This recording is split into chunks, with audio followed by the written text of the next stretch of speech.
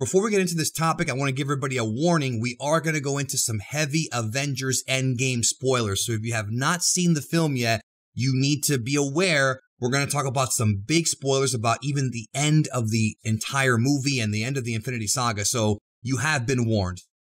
In the MCU, Thanos gathers the Infinity Gauntlets in Infinity War. He snaps his fingers, wipes out half the universe, but he injures his arm. Then we find out in Avengers Endgame a few weeks later that Thanos snapped his fingers again to destroy the Infinity Gems.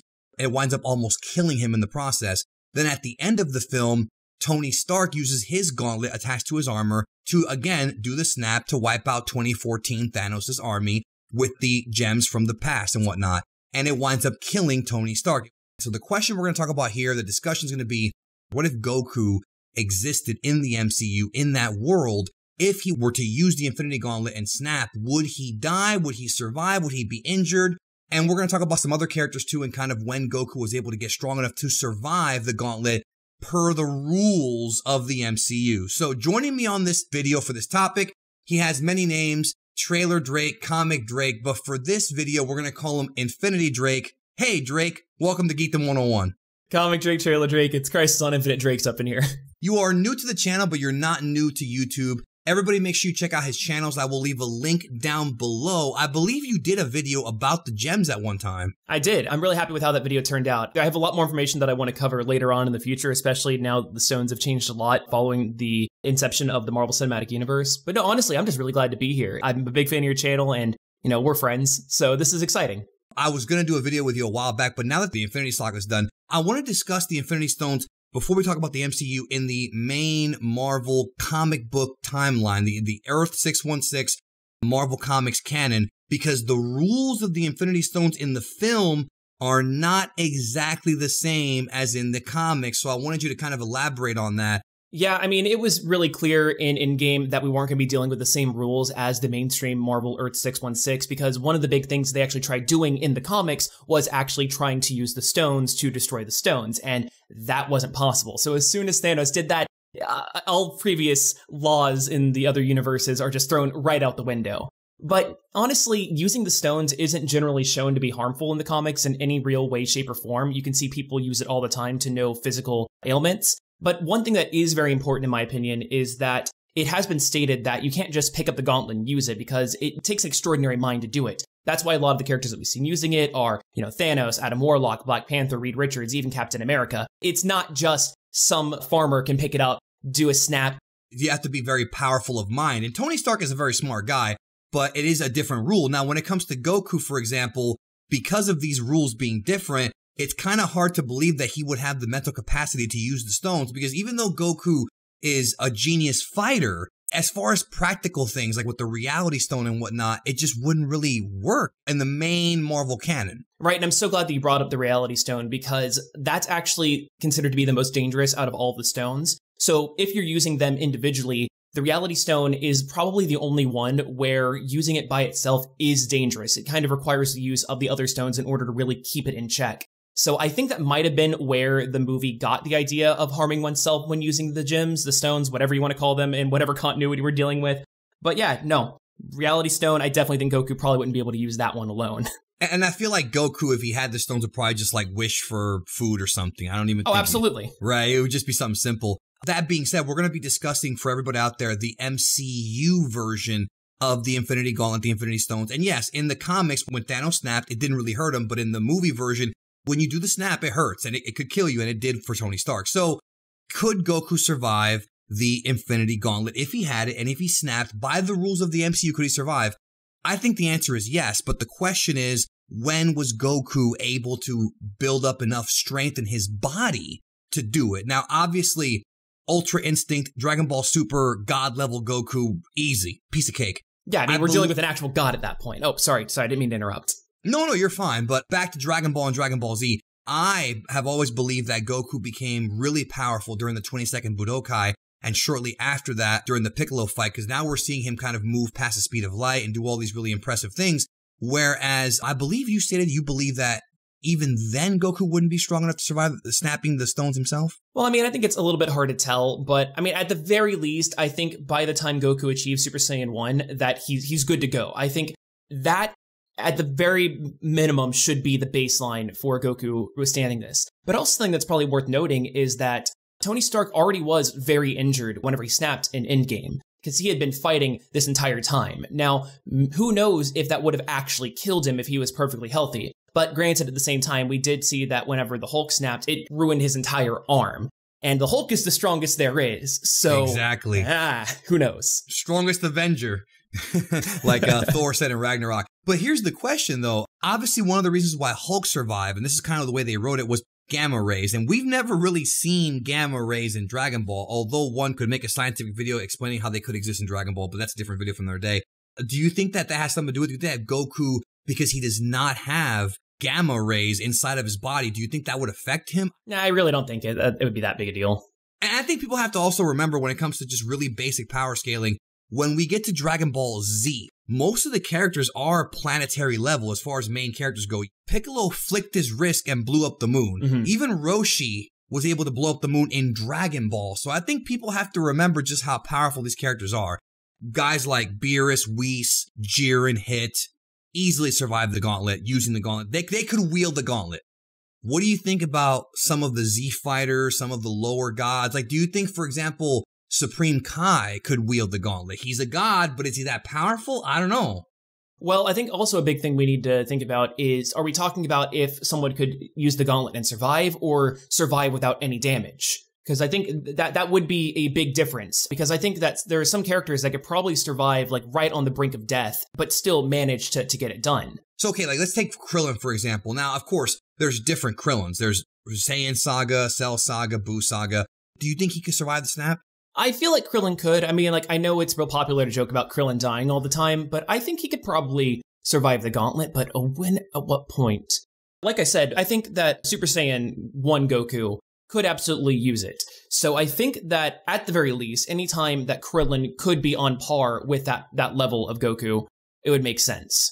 So obviously you believe that Frieza could do it, the, the character of Frieza, easily. Oh yeah, I, I, mean, especially when we're talking about Golden Frieza. Oh, easily, yeah, for sure. That's a different level of power. Now, what about Majin Buu? Here we have a character Ooh. who has incredible stamina. Yeah, he snaps it might hurt him, but he can just regenerate. He's good that's to go. Th- yeah, and that's the other thing. And the same thing for Cell. Like if, and if, Piccolo, he cut his arm off like he did against Cell and just regen, make a new one. You're good right, to go. Exactly. And you know, if Cell can survive from a single drop of blood, I think Buu, also with how you know elastic and spongy he is, it, it makes sense. Because I mean, I feel like Buu kind of works off of cartoon physics uh, a lot more to Toriyama's original comedic take on right. uh, the first Dragon Ball run.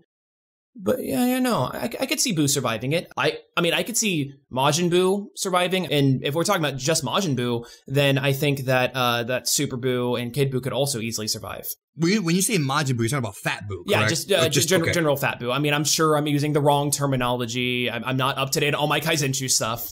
It's all it's all Majin Buu. But um, now, how do you feel about guys like 17 and 18, you know, because here we have artificial humans, enhanced genetics. Yeah. Maybe they could. I mean, I think they are beyond Super Saiyan power, uh, way beyond. Oh, absolutely. Way I mean, beyond. 17 won the tournament. Yeah, no, not just, I mean, yeah, that's, we're talking about even, we're talking about Dragon Ball Z 17 and 18. Oh, yeah, yeah, yeah, yeah. I think, I mean, dude, 18 put Vegeta in a damn hospital pretty much, right? Essentially. So I feel like she could survive. I mean, obviously it's not going to be a technology thing because Tony Stark was was had that nanotech armor for the Iron Man suit. I think it was Mark 85, so I don't think that would affect the snap at all. I think 17, 18 they could probably survive. What do you think? I mean, I know there's a lot of misconceptions around the androids, but could they use it in the first place? Do you need to have a like an organic sentient mind? And I, I know that they're that they're they modified. One, but they're right. modified. Yeah, right. And so would that would that itself negate being able to use it? Because you know the Soul Stone being one of them. Or maybe like what could happen is when they use it, it could somehow damage their cybernetic implants. Like maybe if they use it, they could like end up short circuiting the, the, whatever they have inside of them, whatever their their cells are or whatever, you know? Yeah, it's so hard without knowing like a lot of the exact science, and it's really hard because we have less rules in the MCU about the Infinity Gauntlet and the, and the Infinity Stones. So it's it's so hard to to go off of that. But yeah, I mean, it really comes down to the whole debate of like, do the androids do they have souls? Right? Yeah. That well, they do have souls because you know, 17 came back to life um, yeah, when he yeah. died. So I That- guess that, that is true. He would. Um, and they are human, so they do have souls. Now, here's the question. The one that pops in my head, of course, is characters like Mr. Satan, like King Chappa, like people like that. Um, here we have regular humans. They don't know how to use ki. We could even talk about Videl here for a second, but Mr. Satan is a very, very strong and powerful regular human. He did win the 24th Budokai. He's the strongest non ki user. Could he survive the snap if he's healthy? Man, I don't, I don't think so. Because, like, okay, first of all, think about this. Uh, Mhm. We know in the MCU that Captain Marvel alone isn't enough to beat Thanos. Right. I think that I think that's pretty clear. If we look at, I guess, power scaling a little bit, we know that Thanos is better than Captain Marvel. So we need to try to find a comparison to Captain Marvel in Dragon Ball. Uh, That's with a her lot of people. level. Right, and that, that's a, that's a lot of people. But I feel like Mr. Satan is clearly below the level of a Captain Marvel. If Thanos can do it, Captain Marvel might be able to do it. I feel like like Hercule really couldn't. But you mentioned that Tony Stark, had he been healthy, may have survived. And Uh, we will never know. possibly. That's what I'm saying. But based on apples to oranges, but you know, Mr. Is Satan true, yeah. is a trained fighter. He, you know, with a very in shape body, especially in the Buu saga and before that. I, that's the question I'm kind of posing. Now, what about Videl? Here we have someone who knows how to use Ki to Fly. She can't really use Ki Blast. Could do you think she could survive snapping with the gauntlet? Yeah, I feel like Videl has a much higher chance than Mr. Satan. Because, I mean, also, like, once you start getting into ki stuff, that very clearly augments your physical strength and body as well. I mean, Goku isn't super jacked. I mean, like, yeah, he's incredibly muscular, but I mean, body mass wise, I mean, Mr. Satan is clearly bigger. But all the specialized training that Goku has gone through, his his body is able to fa- to perform far beyond the peak human level. I mean, granted, he is Saiyan, but I feel like the ki does bring a lot into it. I mean, also, again, we're looking at things like the Soul Stone, which I feel ki. The Mind Stone too. The Mind Stone, right? Yeah. Now, what about Roshi? Here we have a guy who's superhuman, moon destroying guy, did really well in tournament of power. I ah, that's a tricky one because I ah, I don't know. He does seem stronger than than appearance can be deceiving when it comes to him. Oh, and he can buff up instantly, I know, and What way bigger think? than than Mr. Satan too. He's probably about the size of Hulk. So I wonder. I think he probably. I feel like with Roshi, my opinion, he would probably be injured because he's also an old man. But I think he would survive. I think he would be injured though. Yeah, and Roshi would find some ancient martial art technique or something that that his sister hooked him up with, and he would find some crazy way to get around it. Right, right. So overall, I think that we've pretty much come to an agreement that Goku, at some point, probably in late Dragon Ball, early DBZ, you said Sans, you, you said Namek arc. Honestly, I feel like he could probably do it at Kaioken. Yeah, after he trained with with, with uh, Actually, Yeah. that's interesting though because Kaioken it, it, is physically taxing on Goku. I, I don't know could if he survived the the toll that he's already taking on that form and the additional strain of the gauntlet. well, Kaioken one or Kaioken times three? Because Kaioken times one, he seemed to be able to do pretty easily, but when he got to times three, is when he got all jacked up. I, I feel like if we're doing something as big as using the Infinity Gauntlet, then we'd have to go at least times three. Yeah, okay. So, but then you feel like maybe if he snapped, he would probably burn himself, like he like like he did in Super when he had the, the body. Yeah, but he would probably still survive. You think maybe? Yeah, I mean, if don't he can survive Super Kaioken Blue times 20 or whatever he ended up doing, I, if he can survive that, I feel like he could probably survive using the gauntlet.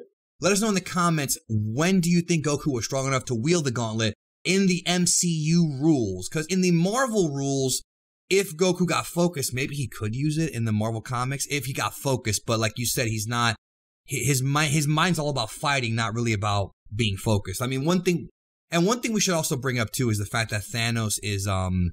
A lot of times he loses because of his own doubt, his own, his own. He ends up beating himself. So that didn't happen in the film, but uh, which I think it would have been cool if it did, but it's just different rules. But we're talking about the MCU here. Any final thoughts? Well, no, I mean, I think we've been more than thorough with all of this. I think that if anybody has any idea of what other characters can can wield the gauntlet, like Gohan, clearly, uh, you know, in terms of physical, mental, everything. Uh, but yeah, what about some of the the more obscure characters? I'd like to know what people that are a little bit more versed in the minutia of Dragon Ball have to say. I think Gohan probably, I would say, after Frieza, I would say it, during the Android saga, before he even went Super Saiyan, he probably could wield it. Okay, before we go, I just thought of a new one. What about GT Goku as a kid? Here we have a really strong, he's really powerful, but he's also small and has somewhat of a weaker body. I think he could, but I don't know. He couldn't even get his hand on the glove. Maybe not. Yeah, I couldn't even. It wouldn't even fit right in. But maybe it's one of those adjustable gloves, like the ones that uh that Tony made. Remember how to adjust the whole yep, arm? Yep, that is true. That could I, work. I feel like GT Goku could do it. I mean, if if we're saying that uh, that Frieza Saga Goku could, then GT Goku very easily could. Even with the smaller body, is what. Even with the with the smaller body. I mean, I Right. I mean, clearly, I don't think shape and body size is everything for this. I agree with that, but I wanted to clarify for the audience. So, all right, thanks everybody. Thank you, Drake, and we'll talk to y'all in the next one.